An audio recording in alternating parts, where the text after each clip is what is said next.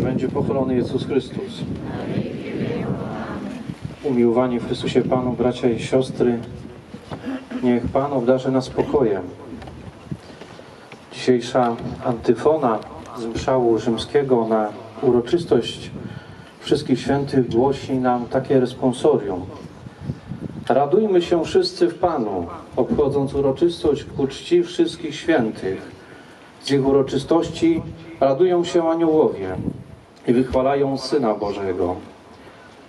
Dzisiejsza uroczystość wszystkich świętych, na których się zgromadziliśmy tutaj na wzgórzu Łyczakowskim, dobrze znanym dla nas wszystkich miejscu, miejscu pamięci, miejscu historii, ale przede wszystkim miejscu modlitwy i miejscu świętym.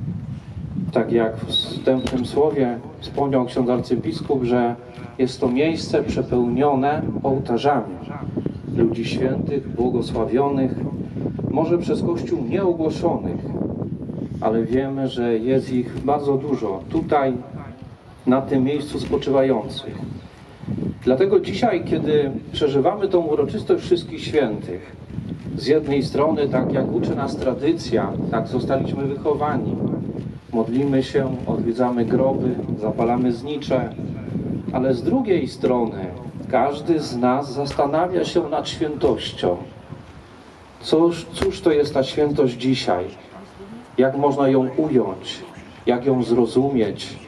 Jak nią żyć? Cóż to jest ta świętość?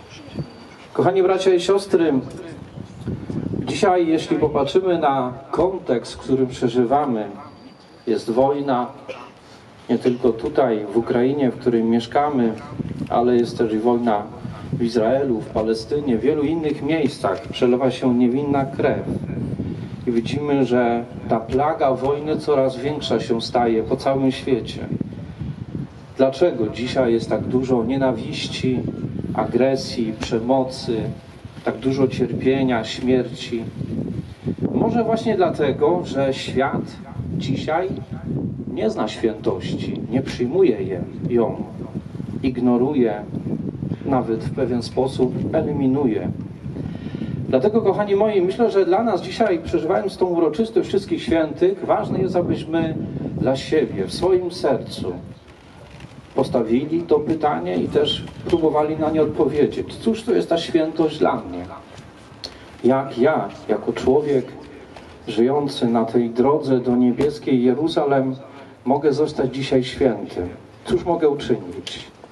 Zawsze przychodzą nam na myśl święci, czy dobrze nam znany święty Jan Paweł II, czy siostra Faustyna, czy bardzo czczony pośród nas ojciec Pio, czy święty Franciszek, czy tu na wzgórzu Łyczakowskim święty Antoni, czy nasi patronowie święty Józef Bilczewski, święty Zygmunt Gorazdowski, czy wielu innych świętych, którzy są naszymi patronami, których imiona nosimy.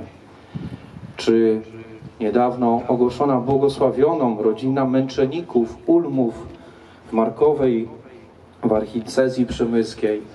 I to, co możemy zobaczyć, że świętość w wydaniu tych ludzi nie jest jakaś taka słodka, kolorowa, cukierkowata, tylko za tą świętością kryje się konkretne poświęcenie, jest konkretna ofiara, jest postawa człowieka, który do końca zaufał Bogu. Nie sobie, nie innemu człowiekowi, tylko Bogu. Dlatego przeżywając tą uroczystość, ważne jest, abyśmy dzisiaj, wsłuchując się słowa, czy z Apokalipsy, czy z drugiego czytania, czy z Ewangelii Mateusza, abyśmy też zrozumieli, że Bóg dzisiaj uczy nas świętości.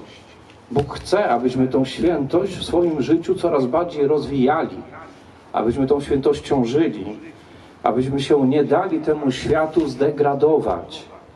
To jest największe niebezpieczeństwo, które dzisiaj coraz częściej nam wszystkim grozi.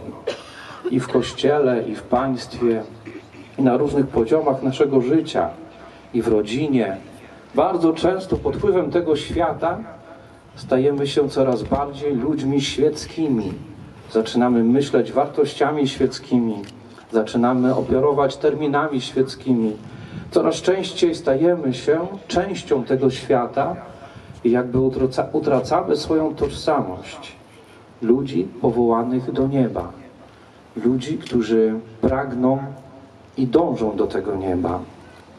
Dlatego Bóg nas dzisiaj uczy zaufania.